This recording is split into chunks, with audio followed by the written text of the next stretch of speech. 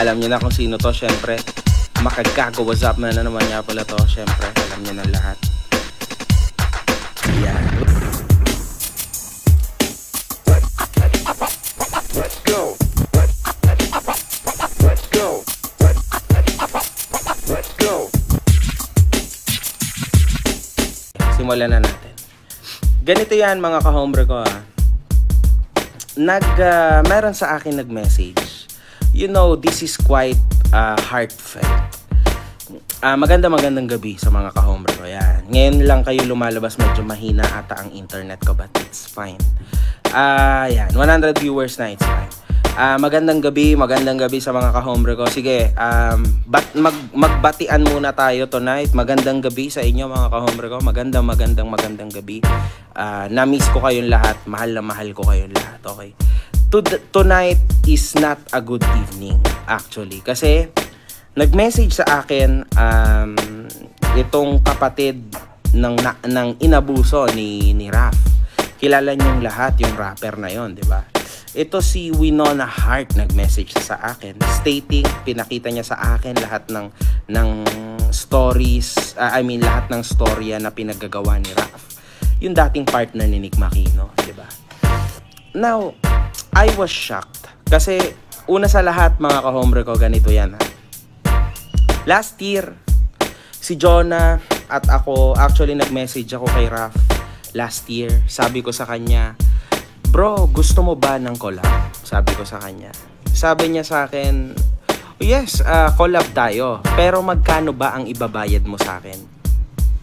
Now look, Raf, nakikita mo naman siguro on how things changed. Ngayon, dati, nanghihingi kami sa'yo ng collab. Hindi mo kami pinansin at nanghihingi ka pa sa akin ng pera para lang makakolab ka. Pero ako na si Makagago with 1 million subs sa YouTube but you've asked me that. Okay lang, that's fine.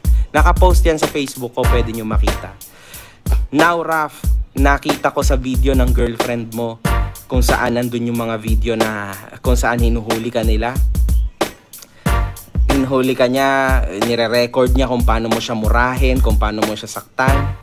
And what hap what happened, Raf? Nanghihingi ka sa kanya ng pera. ba? How sad, bro.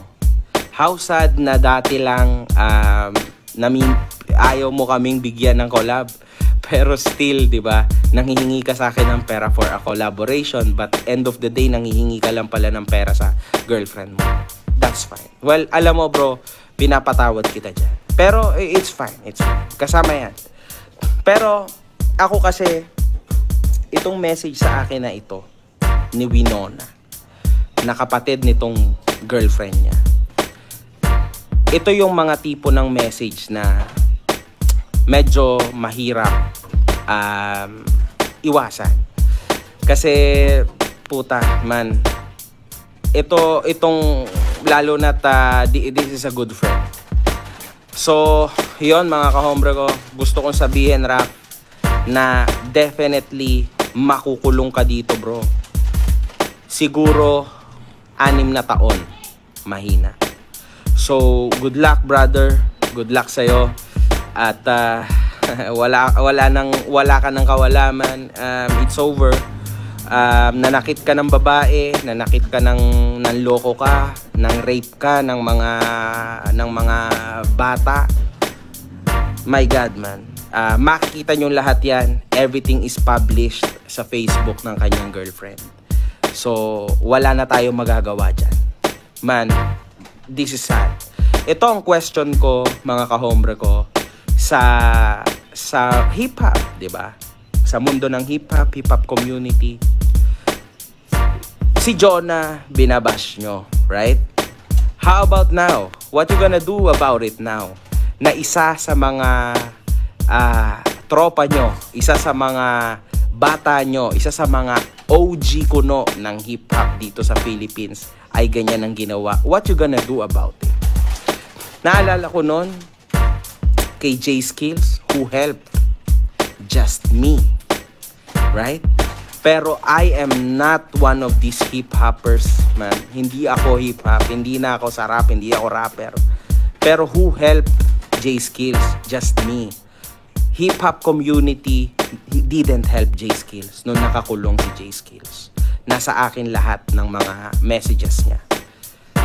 Man, what I wanna know, what will hip-hop do community do about this now?